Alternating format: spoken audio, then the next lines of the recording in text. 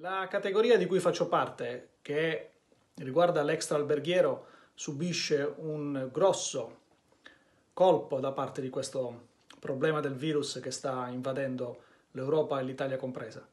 Allo stato attuale le prenotazioni di febbraio-marzo risultano completamente cancellate, le prenotazioni di Pasqua, quindi la Pasqua in sé, è molto compromessa, stanno quasi iniziando a cancellare completamente